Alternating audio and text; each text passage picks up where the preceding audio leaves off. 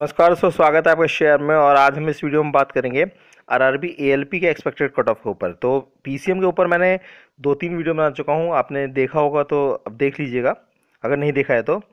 तो देखिए, इस इस वीडियो में पूरा जो ये वीडियो पूरा डेडिकेटेड होगा, ये एएलपी असिस्टेंट लोगो पायलट के स्टूडेंट्स के लिए पूरा वीडियो डेडिकेटेड है।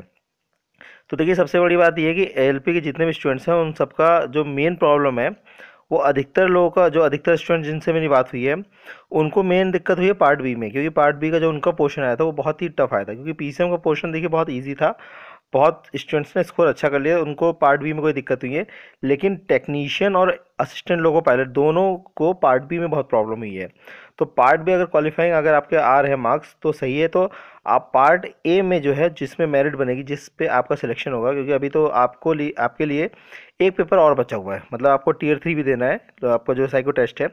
तो इसमें मैं आपको बताऊँगा कि सी बी टी टू के लिए आपके जो जोन वाइज आपने जिस जोन से अप्लाई किया है, आपके लिए सेफ़ स्कोर कितना होगा? अगर आपने इतने भी स्कोर अगर आपके आ रहे हैं, या अगर आजू बाजू भी आ रहे हैं आपके तो तो इतने मार्क्स के बाद आपका हो जाएगा। ये नॉर्मलाइज मैं बता रहा हूँ कि इतने मार्क्स अगर आपके हो जा रहे हैं बाद में, थोड़ा बहुत कम हो तो कोई दिक्कत नहीं है, आपका सिलेक्शन हो जाएगा। तो बिना किसी देरी के स्टार्ट करता हूँ मैं वीडियो अगर चैनल पर नया है और पहली बार वीडियोस को देख रहे हैं तो चैनल को सब्सक्राइब ज़रूर कर लीजिए। रेलवे से रिलेटेड बहुत सी वीडियोस इस चैनल पर डलती रहती हैं। तो चलिए शुरू करते हैं। तो सबसे पहले बात करते हैं हम अहमदाबाद की। अहमदाबाद में जो टोटल वैकेंसी है, तीन सौ पैंसठ है। अच्छा देखिए, बहुत जगह इलेक्ट्रिकल की है मैकेनिकल की है और बहुत जगह मतलब केवल एक ही है इलेक्ट्रिकल की है या तो मैकेनिकल की है।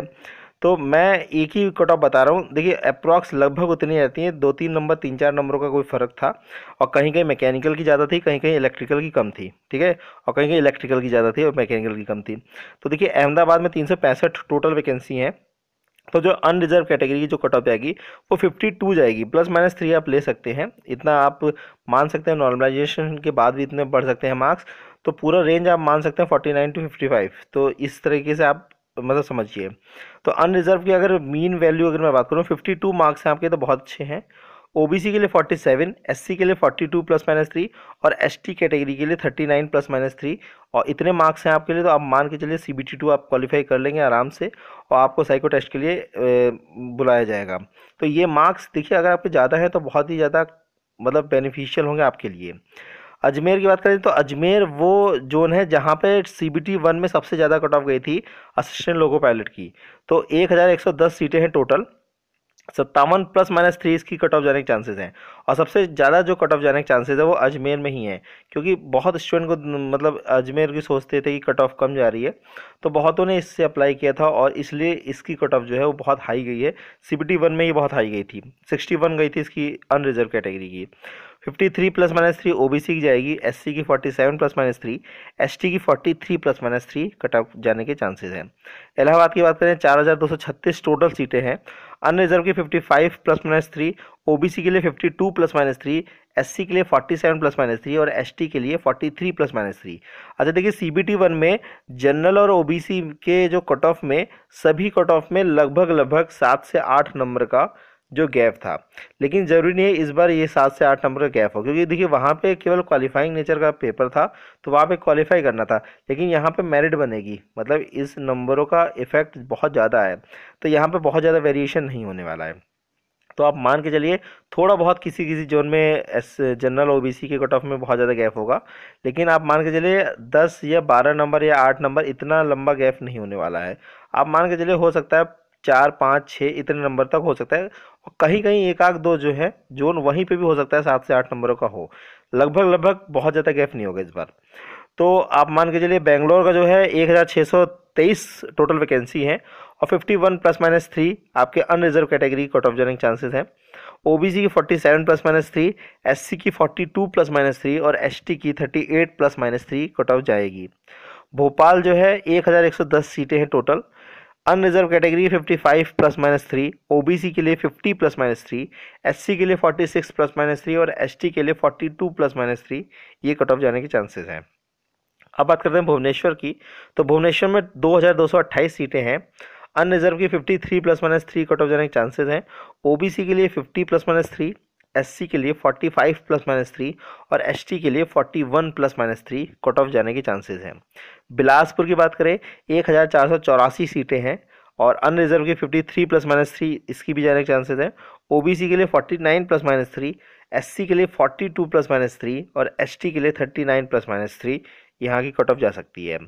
चंडीगढ़ की बात करें 1308 टोटल वैकेंसीज है। अनरिजर्व कैटेगरी की बात करें 56 plus minus three highly competitive seat जो है, आपकी जोन जो है ओबीसी के लिए बात करें 51 प्लस माइनस थ्री एससी के लिए 45 प्लस माइनस थ्री और एसटी के लिए 40 प्लस माइनस थ्री अब बात करते हैं हम चेन्नई की। चेन्नई में सात सौ इकसठ सीटें हैं टोटल अनरिजर्व के लिए 52 प्लस माइनस थ्री ओबीसी के लिए 47 प्लस माइनस थ्री एससी के लिए 42 प्लस माइनस थ्री और एसटी के लिए 38 प्लस माइनस थ्री गोरखपुर की बात करें, एक हज़ार छः सौ इक्यासी सीटें हैं टोटल अनरिजर्व के लिए 54 प्लस माइनस थ्री और ओबीसी के लिए 49 प्लस माइनस थ्री एससी के लिए 45 प्लस माइनस थ्री और एसटी के लिए 41 प्लस माइनस थ्री तो ये हो गई हमारी गोरखपुर की और उसके बाद बात करते हैं गुवाहाटी की। गुवाहाटी में सीटें कम हैं।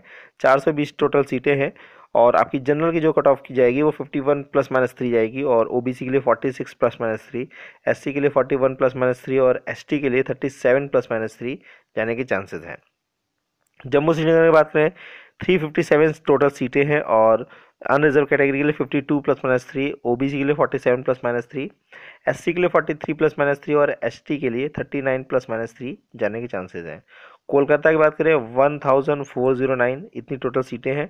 53 plus minus three unreserved category के लिए ओबीसी के लिए 49 प्लस माइनस थ्री एससी के लिए 45 plus minus three and ST के लिए 41 प्लस माइनस थ्री टोटल जो कट ऑफ़ जाएगी, जितनी चांसेस हैं। मालदा की बात करें एट ज़ीरो वन सीटें हैं टोटल अनरिजर्व के लिए 52 प्लस माइनस थ्री ओबीसी के लिए 47 प्लस माइनस थ्री एस के लिए 43 प्लस माइनस थ्री और 39 प्लस माइनस थ्री जाएगी एसटी के लिए कट ऑफ़ बात करते हैं मुंबई की, मुंबई 1866 टोटल वैकेंसी है 54 plus minus three unreserved category के लिए कट ऑफ़ जाने के चांसेस है। 49 प्लस माइनस थ्री आपके लिए ओबीसी के लिए 45 प्लस माइनस थ्री आपके एससी के लिए और एसटी के लिए 41 प्लस माइनस थ्री मुजफ्फरपुर की बात करें 456 टोटल सीटें हैं 51 प्लस माइनस थ्री अनरिजर्व के लिए। ओबीसी के लिए 47 प्लस माइनस थ्री एस के लिए 42 प्लस माइनस थ्री और एस के लिए 38 प्लस माइनस थ्री पटना की बात करें 720 सीटें हैं 54 plus minus three unreserved category के लिए। ओबीसी के लिए 49 प्लस माइनस थ्री एस के लिए 45 प्लस माइनस थ्री एस के लिए 42 प्लस माइनस थ्री ये टोटल आपकी जो कट ऑफ़ जाने के चांसेस हैं। रांची की बात करें 2031 टोटल सीटें हैं। जनरल के लिए 53 प्लस माइनस थ्री ओबीसी के लिए 49 प्लस माइनस थ्री एस के लिए 45 प्लस माइनस थ्री एस के लिए 41 प्लस माइनस थ्री और बात करते हैं thirty three one three three total पोस्टें हैं 55 प्लस माइनस थ्री इसकी कट ऑफ़ जाने के चांसेस हैं। और जो सबसे ज़्यादा जोन में कट ऑफ़ जाएगी, उन जोन्स में सिकंदराबाद भी आता है।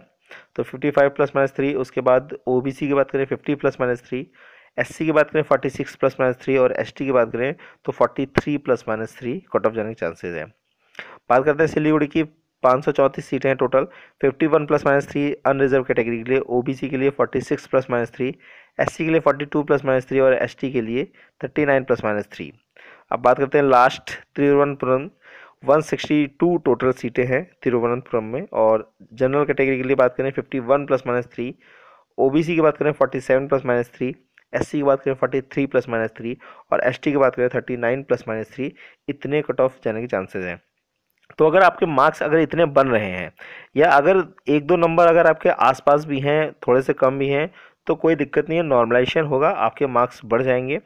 और ज़ाहिर सी बात है, जिस हिसाब से मैं बता रहा हूँ कि सेकंड शिफ्ट में एग्ज़ाम जो हुए हैं, वो बताया जा रहा है, जैसे स्टूडेंट ने रिव्यू दिया था, कि वो थोड़े से अच्छे आए हैं। और अगर आपको लगता है कि आपके शिफ्ट में पेपर जो आपका टफ आया था तो कोई दिक्कत नहीं, किसी, कोई कुछ भी कहता है, उससे कोई फ़र्क नहीं पड़ता है। अगर आपके शिफ्ट में, देखिए, सीधी बात है नॉर्मलाइजेशन किसी के कहने पे नहीं निकाला जाता है। नॉर्मलाइजेशन निकाला जाता है सैंपल पे।